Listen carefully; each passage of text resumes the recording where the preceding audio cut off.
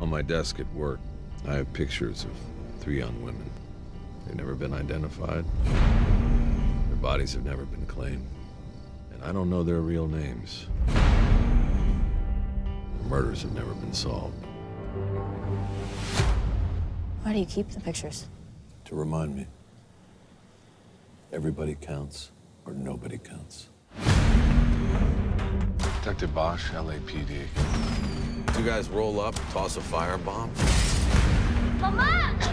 Nobody saw who these guys were. Five murders. Somebody gave them marching orders. That neighborhood, that block, Gladys Rodriguez. Woman, that's unusual. Yeah, she's an unusual woman. Looks like a banker, kind of a female stringer bell. I don't like the sound of that.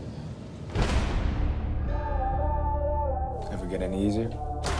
No, never does. She plays the system. Every angle. Feds are turning a blind eye. Why? She chose Maddie to get back at me. I can't let it go.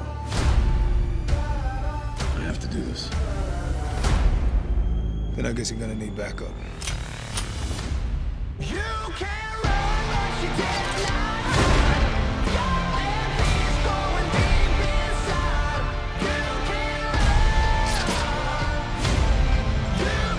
Can I ask you a question?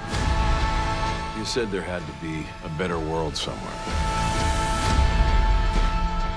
Still believe in a better world?